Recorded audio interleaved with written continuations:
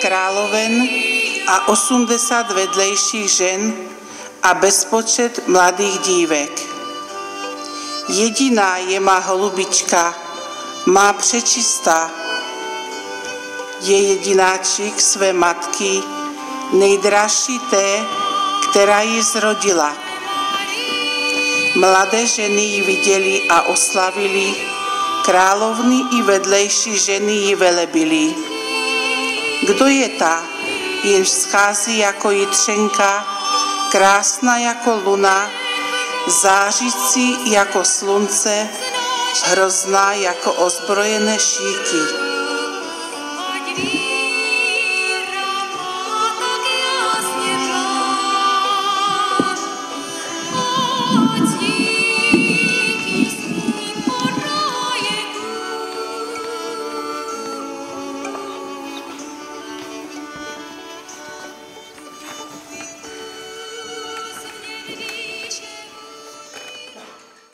Dne 27. listopadu si připomíná církev svatá zjevení Pany Marie v Paříži na Rue de Bac sestře Kateřině Laboré, která byla členkou společnosti dcer křesťanské lásky svatého Vincence de Paul. Když jí bylo devět let, ztrácí matku. Rodina, kterou spojovala upřímná láska, to bolestně prožívá. Kateřina, křesním jménem Zoe, ve chvíli, kdy předpokládá, že ji nikdo nevidí, vystoupí na židli v pokoji, kde maminka umřela. Obejme sošku Pany Marie a prosí ji, aby od této chvíle byla její matkou ona. Pana Maria této prozbě s radostí vyhověla. V dubnu 1830 se Kateřina stává sestrou společnosti dcer křesťanské lásky a začíná období své formace. Právě v tomto období se privilegovaným způsobem setkává s panou Marií. Poprvé to bylo 18. července 1830. Kateřina vypráví. V noci o půl dvanácté jsem slyšela oslovení. Milá sestro, milá sestro, svatá Pana tě čeká. Probudila jsem se a uviděla tajemné dítě, které stálo u mého lůžka. Vyzvalo mě. Svatá Pana tě čeká. Ustrojila jsem se a následovala dítě. Můj tajemný průvodce šel přede mnou po levé straně a šířil paprsky světla všude kolem sebe. Přišli do kaple. Zůstali stát u oltáře nedaleko křesla. Zaslechla jsem jakoby šustění hedvábných šatů. Můj průvodce mi řekl, ale svatá pana. Kateřina se zdráhala uvěřit, ale znovu zaslechla. Hle svatá pana. Průvodce to opakoval silným a přísným mužským hlasem. Pak se jedním skokem ocitla na stupních, na stupních oltáře, na kolenou a své složené ruce vložila do klína sedící Matky Boží. Vypráví. Byly to nejsladší chvíle mého života. Nejsem schopna vyjádřit, co jsem tehdy prožívala. Maria mi řekla, jak se mám chovat vůči mému duchovnímu otci a pak ještě mnoho jiných věcí. Bůh ti chce pověřit jistým posláním. Budou ti protiřečit. Je jisté, že Kateřina musela o svých zjeveních říci duchovnímu otci Aladelovi. Ve zjevení se dále dozvěděla. Přijdou zlé časy. Celý svět bude otřesen různými pohromami. Ale přicházejte k tomuto oltáři a zde obdržíte milosti, o které budete s důvěrou prosit.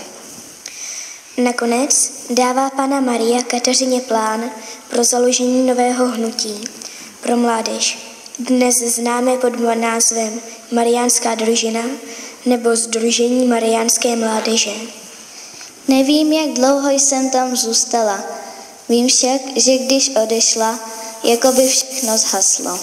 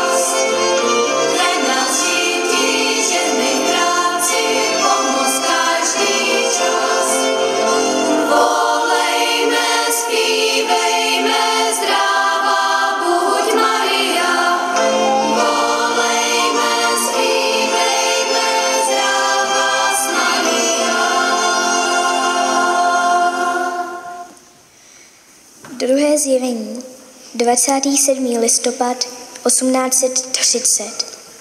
Byla sobota před první adventní nedělí o půl sedmé hodině večer. Počas společného rozjímání v kapli mateřského domu jsem najednou zaslechla šustění hedvábí. Na pravé straně u oltáře jsem spatřila panu Marii, jako by oděnou sluncem. Kromě Kateřiny nikdo nic nespozoroval. Uviděla jsem dva obrazy. Na prvním stála pana Maria na země kouli a pod jejíma nohama se svíjel had. V rukou držela malou, pozlecenou země kouli, oči měla pozdviženy k nebi. A zatímco tuto země kouli obětovala Bohu, řekla. Koule, kterou vidíš, představuje celý svět a každého člověka zvlášť. Náhle byly její prsty pokryty prsteny s krásnými drahokami, ze kterých vycházely paprsky. Řekla. Paprsky jsou znamení milostí, které já vylévám na všechny, kteří mě o ně prosí. A když Kateřina, a když se Kateřina podivila, že z některých drahokamů paprsky nevycházejí, blahoslavená pana jí řekla. Drahokamy, ze kterých paprsky nevychází, jsou znamení milostí, o které mě lidé neprosí. Potom se vytvořil kolem Pany Marie oválný rám se slovy. O Maria, bez hříchu počatá, pros za nás, kteří se k tobě utíkáme. Zároveň slyšela sestra hlas. Nech podle tohoto vzoru razit medailku. Osoby, které ji budou s důvěrou nosit, dosáhnou veliké milosti. Nyní se obraz obrátil a sestra Kateřina viděla, jak by měla vypadat zadní strana medailky. Písmeno N, nad ním vyčníval kříž, spočívající na příčném trámě. Dole srdce Ježíšovo, obklopeno trnovou korunou a srdce Marijino prodobodeno mečem. Okolo bylo dvanáct hvězd. První medaile byly raženy v roce 1832. Tehdy zuřela v Paříži epidemie cholery. Sestry rozdávaly nemocným medaile a mnozí byli uzdraveni. Proto se jí začalo říkat zázračná medaile a toto pojmenování jí zůstalo. Dnes je už známá na celém světě. Nosit s důvěrou znamená svěřit svůj život a svou smrt do ochrany neposkvrněné Pany Marie. Pana Maria skrze ní i v této době vede lidi ke smíření a k poznání Boha.